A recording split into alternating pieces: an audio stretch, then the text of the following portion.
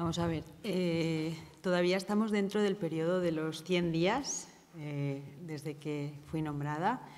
Y de momento en relación a las oficinas, a las tres oficinas específicas de las que usted me está hablando, en principio eh, estamos estudiando las diferentes posibilidades que hay sobre ellas. Sí que es cierto que existen entre esas propuestas por la posibilidad de que se mantengan y con la posibilidad de ampliar o reducir las eh, competencias sobre las mismas, pero todavía está en proceso de estudio y, en consecuencia, estando en esa situación y, además, estando elaborando en este momento pues, el borrador de presupuestos, como comprenderá, no puedo darle una respuesta totalmente firme y fehaciente que usted me está pidiendo. Gracias.